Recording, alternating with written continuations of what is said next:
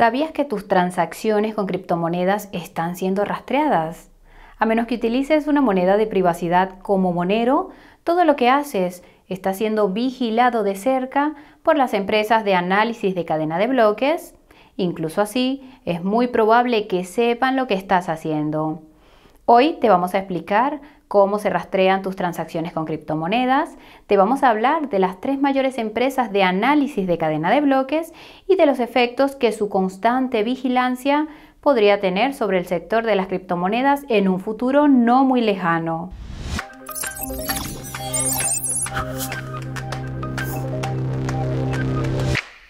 Antes de ver cómo son rastreadas las criptomonedas, tenemos que contaros algo para que nuestra relación siga yendo sobre ruedas. Si te has dirigido aquí buscando asesoramiento financiero, no has elegido un buen sendero. Sin embargo, si lo que buscas es contenido educativo y entretenido, en este vídeo lo tienes todo incluido. Ponte en contacto con un asesor financiero si quieres engordar tu monedero. Damos la bienvenida tanto a los nuevos visitantes como a los que vienen de tiempo atrás. Soy tu chica cripto y Coinburo es donde me encontrarás. Ofrecemos el contenido sobre criptomonedas de mayor calidad del mundo, criptomonedas, noticias, reseñas y otros temas accesibles en un segundo. Si este es el tipo de contenido que te apetece, suscribirte al canal y darle a la campanita de notificación bien lo merece.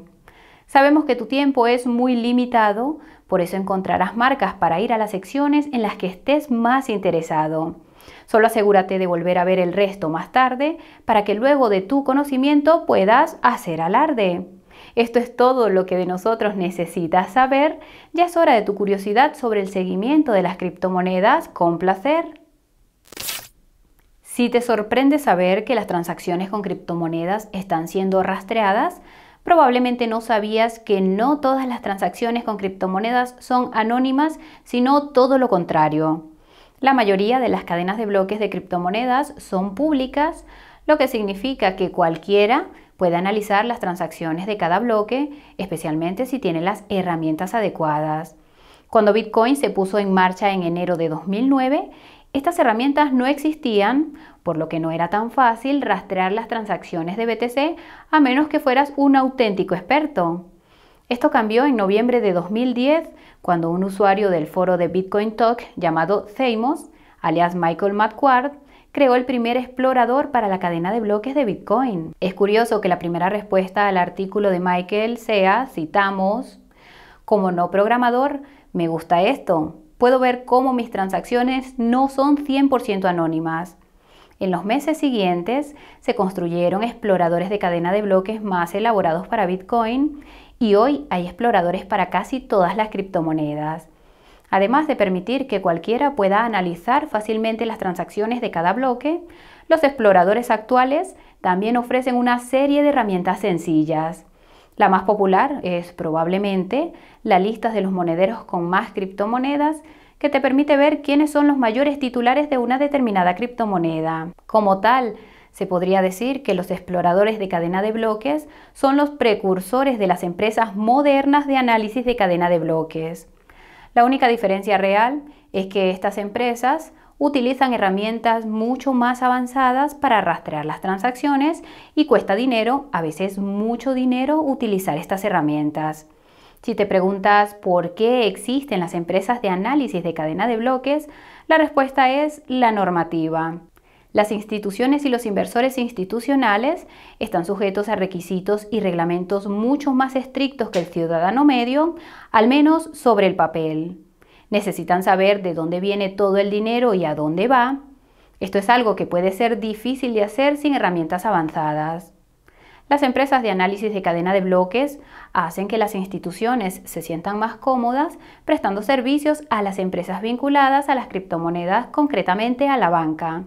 También hacen que los inversores institucionales se sientan más cómodos invirtiendo en criptomonedas, ya que pueden demostrar que todas sus inversiones son legítimas. La mayoría de estas normas proceden de las recomendaciones del Grupo de Acción Financiera Internacional o GAFI. Puedes saber lo que recomiendan para las criptomonedas utilizando el enlace de la parte superior derecha. Aunque cada empresa de análisis de cadena de bloques tiene su propio enfoque para hacer el seguimiento de las transacciones con criptomonedas, sus metodologías son más o menos las mismas. Todo empieza con los exchanges de criptomonedas. Si alguna vez has utilizado uno que requiera KYC, debes saber que tu identidad está conectada a tu monedero de criptomonedas, por supuesto, suponiendo que hayas enviado criptomonedas a o desde el exchange. Aunque esta información no la conocen necesariamente las empresas de análisis de cadena de bloques, pueden avisar a los exchanges si ven alguna transacción sospechosa procedente de o enviada hacia la dirección de tu monedero. En este punto, el exchange de criptomonedas podría marcar o incluso congelar tu cuenta si se considera que la transacción está relacionada con actividades ilícitas como hackeos o estafas. Las empresas de análisis de cadena de bloques también prestan mucha atención a las transacciones que entran y salen de las direcciones de los monederos pertenecientes a los mercados de la web oscura. En realidad hay muchas maneras de que estas empresas puedan averiguar qué direcciones de monederos pertenecen a los mercados de la web oscura. Una de las formas más sencillas es analizar todas las direcciones de monederos pertenecientes a personas que se sabe que forman parte de esos mercados y ver de dónde proceden o a dónde van la mayoría de sus transacciones. Una de las formas más complejas es analizar el comportamiento de las transacciones de una o varias direcciones de monedero para determinar si se ajustan al perfil de una persona involucrada en actividades sospechosas. Esto está relacionado con otro aspecto que las empresas de análisis de cadena de bloques vigilan. Nos referimos a los grupos de monederos. En resumen, analizando las transacciones entre determinados monederos, es posible averiguar si pertenecen a la misma persona o a varias. Por último, pero no por ello menos importante, las empresas de análisis de cadena de bloques rastrean las transacciones procedentes de los mezcladores. Para los que no estén familiarizados, los mezcladores permiten romper el vínculo entre el emisor y el receptor en una cadena de bloques pública. A menudo se asume que los mezcladores son utilizados principalmente por los delincuentes, pero los datos sugieren que solo el 8% de todas las transacciones mezcladas están relacionadas con actividades ilícitas, lo que significa que los mezcladores se utilizan más a menudo para mejorar la privacidad. Si quieres saber cómo funcionan los mezcladores, puedes ver nuestro vídeo sobre Tornado Cash utilizando el enlace de la parte superior derecha. En cualquier caso, esta increíble estadística sobre los mezcladores fue descubierta por Chainalysis, que se cree que es la mayor empresa de este tipo. Chainalysis fue fundada en octubre de 2014 por Jonathan Levine, Michael Gronager y John Moller. Jonathan tiene un máster en economía por Oxford y Chainalysis es básicamente el lugar donde ha trabajado. Michael es doctor en mecánica cuántica y tiene más de una década de experiencia en investigación y consultoría relacionadas con su campo. También ha sido director de operaciones del exchange de criptomonedas Kraken. Jan tiene un máster en informática y más de dos décadas de experiencia trabajando como arquitecto de sistemas. También es el antiguo ingeniero jefe de Mycelium, un monedero de Bitcoin al que adora el evangelista de Bitcoin Andreas Antonopoulos, que casualmente odia Chainalysis. Más adelante explicaremos por qué.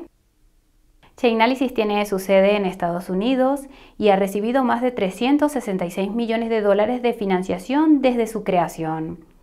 Este dinero procede de varias empresas de capital riesgo, incluidas algunas sociedades de capital riesgo del sector de las criptomonedas. Según el sitio web de Chainalysis, rastrean todas las criptomonedas y proporcionan servicios de análisis de transacciones a más de 500 clientes, principalmente exchanges de criptomonedas y gobiernos. Esta lista incluye a Binance, Gemini, BitPay, Bitrex, Bitfinex, Huobi, Adbit, Tether y recientemente Robinhood. Ten en cuenta que no se conoce la lista completa de clientes de Chainalysis. Sin embargo, lo que sí se sabe es que Chainalysis ha trabajado estrechamente con el gobierno de Estados Unidos durante años y al parecer ha sido el principal receptor de los contratos gubernamentales relacionados con el seguimiento de las criptomonedas. El más famoso de ellos es el contrato de la Hacienda estadounidense para craquear Monero, la principal criptomoneda de privacidad, que se adjudicó a Chainalysis el pasado septiembre que sepamos todavía no ha tenido éxito. Chainalysis también contrató a un antiguo trabajador de la red de vigilancia de crímenes financieros en 2019, que finalmente regresó a FinCEN para ser su director en funciones en abril de este año. Chainalysis ha abierto recientemente una oficina en Australia para colaborar estrechamente con este gobierno, lo que resulta un tanto preocupante dado lo que ha sucedido allí recientemente. Incluso se acusó a Chainalysis de vender datos de usuarios de Coinbase en marzo de 2019, algo que la empresa desmintió en un artículo de su blog.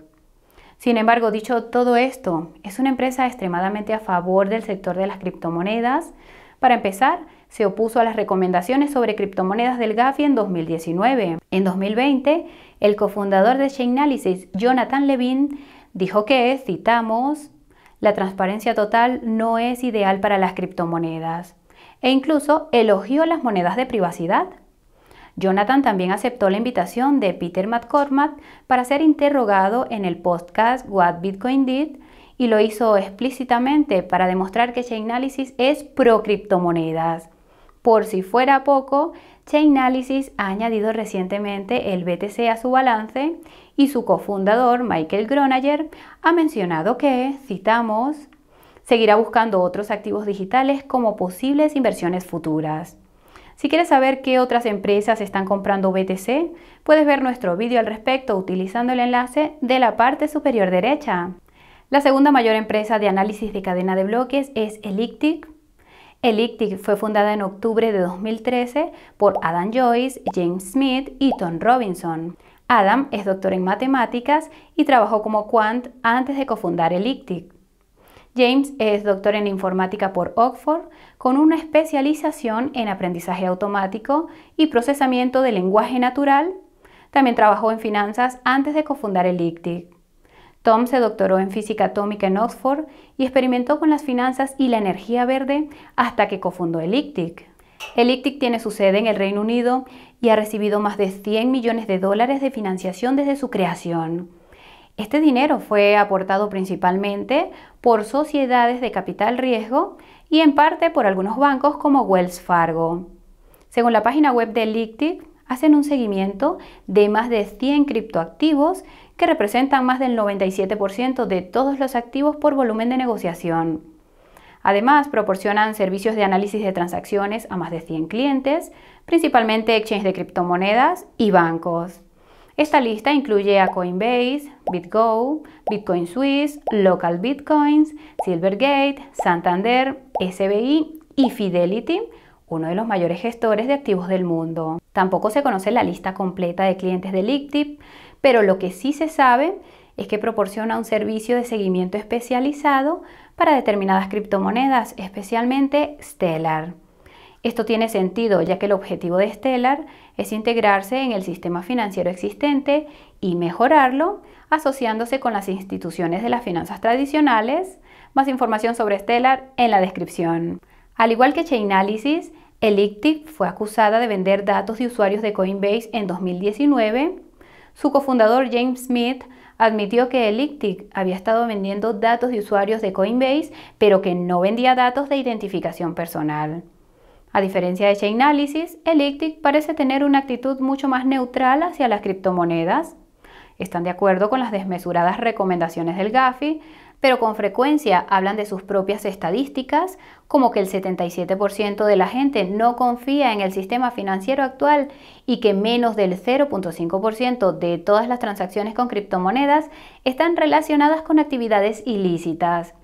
Aún así, el ICTIC está ligeramente polarizada cuando habla y eso se debe a que están muy interesados en ayudar a los gobiernos a vigilar de cerca sus monedas digitales de Banco Central. Si quieres saber qué planean los bancos centrales, descúbrelo haciendo clic en el enlace de la parte superior derecha. La tercera empresa de análisis de cadena de bloques es CipherTrace, que fue fundada en septiembre de 2015 por Dave Jevan, Shannon Holland y Stephen Ryan. Dave tiene un máster en informática y pasó la mayor parte de su vida trabajando en puestos ejecutivos en empresas que él mismo fundó. La más famosa es Iron Key, que fabricó llaves USB súper seguras, tan seguras que el antiguo CTO de Ripple lleva años luchando por sacar su BTC de su Iron Key. Shannon es licenciada en informática y fue una de las primeras empleadas de Apple antes de unirse a IronKey. Stephen es licenciado en sistemas de información y ha ocupado puestos ejecutivos en varias empresas de alto nivel como Visa, donde fue vicepresidente senior. Stephen también trabajó en IronKey. CipherTrace tiene su sede en Estados Unidos y ha recibido más de 45 millones de dólares en financiación desde su creación. Este dinero procede de sociedades de capital riesgo, pero su página web sugiere que la mayor parte de su financiación procede del Departamento de Seguridad Nacional de Estados Unidos. Esta página también señala que rastrean más de 800 criptomonedas a través de una docena de cadenas de bloques y proporcionan servicios de análisis de transacciones a más de 150 clientes, principalmente instituciones financieras. Los únicos clientes del sector de las criptomonedas de CipherTrace parecen ser Crypto.com, Binance y Galaxy Digital, aunque la lista completa de sus clientes no está a la vista. Sin embargo, lo que sí está a la vista es la adquisición de CipherTrace por parte de Mastercard que tuvo lugar en septiembre. Posteriormente, Mastercard anunció que estaba preparando su infraestructura de pagos para apoyar a las monedas digitales de Banco Central, lo que seguramente es una coincidencia.